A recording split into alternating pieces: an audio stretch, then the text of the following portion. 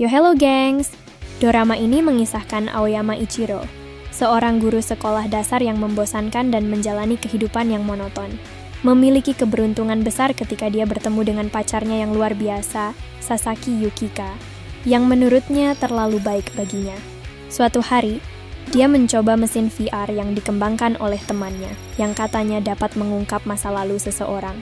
Melalui mesin ini, dia menemui sesuatu dari masa lalu Yukika yang membuatnya meragukan dirinya. Akankah dia sekarang bisa menerima dan mencintai segala hal tentang gadis ini setelah mengetahui masa lalunya? Kamu sedang bingung mencari anime atau drama Jepang yang pas untuk kamu? Atau kamu penasaran tentang anime atau drama Jepang yang akan tayang? Indonesia jawabannya. Di sini kamu akan mendapatkan semua informasi tentang Jepangan terbaru mulai dari anime, dorama, dan semua yang berkaitan dengan Jepang. Jadi tunggu apa lagi? Subscribe Niponesia sekarang juga. Dorama ini dimulai dengan Ichiro, karakter utama, memperkenalkan pacarnya, Yukika. Ichiro menjelaskan betapa bahagianya memiliki Yukika sebagai pacarnya. Hidupnya berubah sejak mereka saling mengenal. Setiap momen yang mereka habiskan bersama sangat berarti bagi Ichiro. Dia menyukai mata Yukika dan merasakan sensasi yang menyenangkan saat memegang bagian belakang telinganya. Namun, Ichiro juga merasa kesal karena setiap kali dia memikirkan Yukika, dia tak bisa menyingkirkan pikiran-pikiran yang seharusnya tidak relevan diingat. Singkat cerita, Ichiro sedang duduk bersama temannya. Dia memegang seperangkat VR dan mengungkapkan keinginannya untuk mengetahui segalanya tentang Yukika. Namun dia juga merasa takut bahwa jika dia mengetahui semua rahasia masa lalu Yukika, dia mungkin tidak akan mampu menerima kenyataan tersebut. Dia takut bahwa setelah mengetahui masa lalu Yukika, dia tidak akan bisa memeluknya lagi dengan sepenuh hati. 君を抱きしめられるだろうか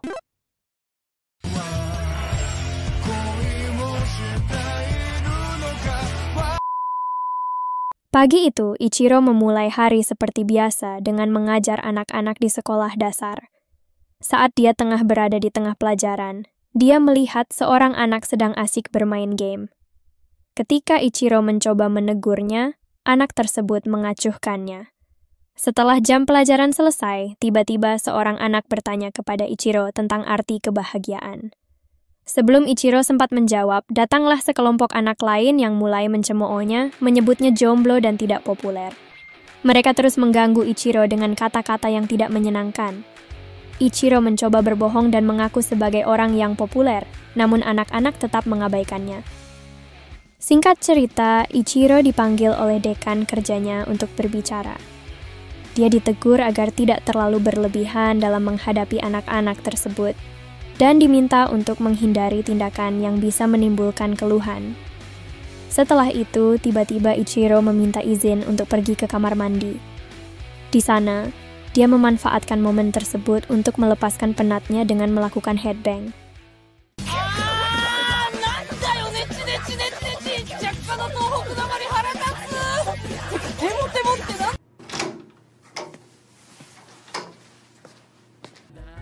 Setelah selesai mengajar, Ichiro bertemu dengan temannya Yohei untuk minum sake. Teman tersebut sudah mengetahui bahwa Ichiro mengalami masalah lagi di sekolah. Bahkan, temannya menambahkan bahwa Ichiro selalu menjadi pengecut sejak SMA.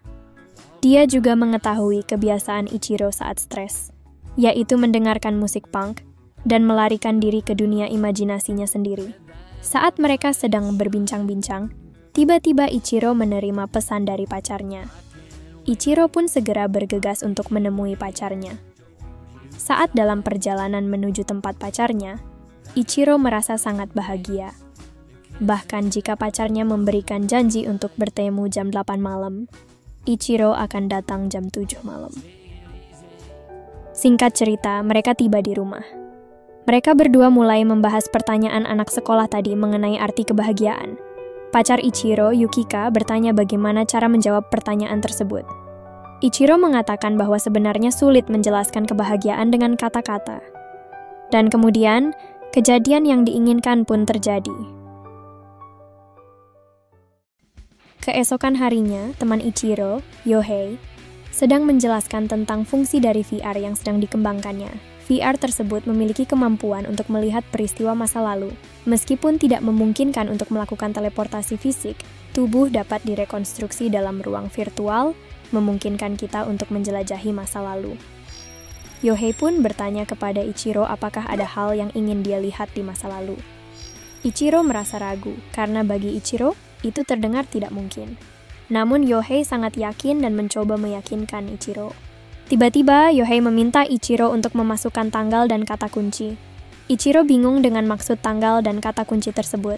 Yohei menjelaskan bahwa itu adalah tanggal ke waktu di mana Ichiro ingin kembali dalam VR. Yohei memberikan saran kepada Ichiro untuk pergi ke waktu di mana band favorit Ichiro menggelar konser. Ichiro setuju dan mencoba mengatur waktu tersebut. Namun, saat ingin memasukkan nama band, Ichiro terkejut karena terbatasnya jumlah karakter yang dapat dimasukkan dan dia tidak dapat memasukkan seluruh nama bandnya. Dengan tenang, Yohei mengatakan bahwa hal itu tidak masalah. Bahkan dia menyarankan Ichiro untuk pergi terlebih dahulu.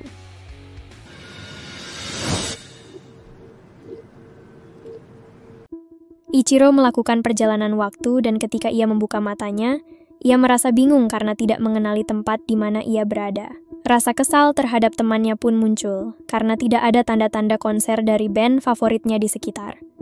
Saat Ichiro berjalan-jalan dan melihat sekeliling, tiba-tiba ia terkejut karena melihat Yukika, pacarnya, sedang berjalan bersama seorang pria lain.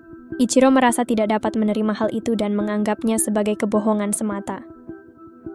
Ichiro kembali dari perjalanan masa lalunya, dan temannya bingung melihat ekspresi wajahnya yang penuh kebingungan. Tiba-tiba, Ichiro merasa perutnya sakit dan pergi begitu saja tanpa memperdulikan temannya. Di perjalanan, Ichiro teringat akan kata-kata pacarnya yang mengungkapkan bahwa dia belum pernah berpacaran hingga usia 22 tahun. Hal ini membuat Ichiro mempertanyakan mengapa VR tersebut menampilkan kejadian tersebut. Apakah itu mantan pacarnya atau hanya sebuah kesalahan teknis?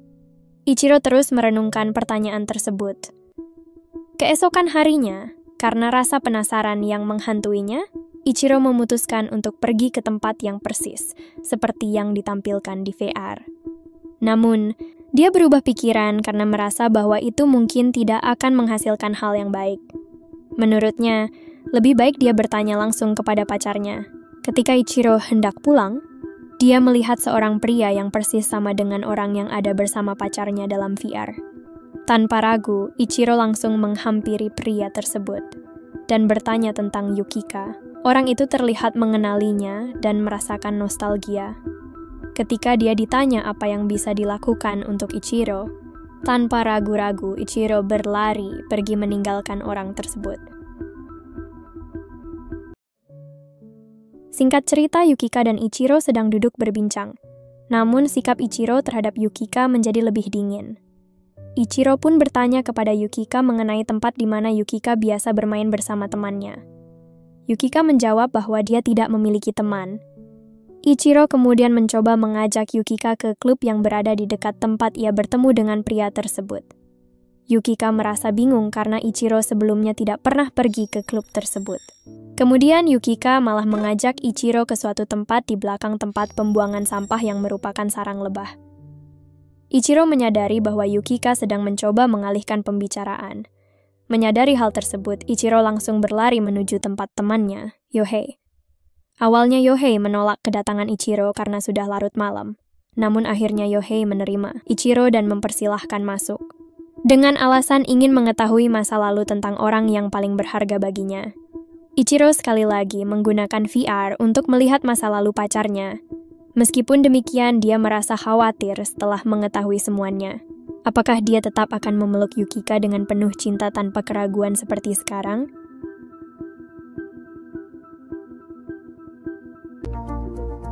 Kamu sedang bingung mencari anime atau drama Jepang yang pas untuk kamu? Atau kamu penasaran tentang anime atau drama Jepang yang akan tayang? Indonesia jawabannya. Di sini kamu akan mendapatkan semua informasi tentang Jepangan terbaru mulai dari anime, dorama, dan semua yang berkaitan dengan Jepang. Jadi tunggu apa lagi? Subscribe Niponesia sekarang juga.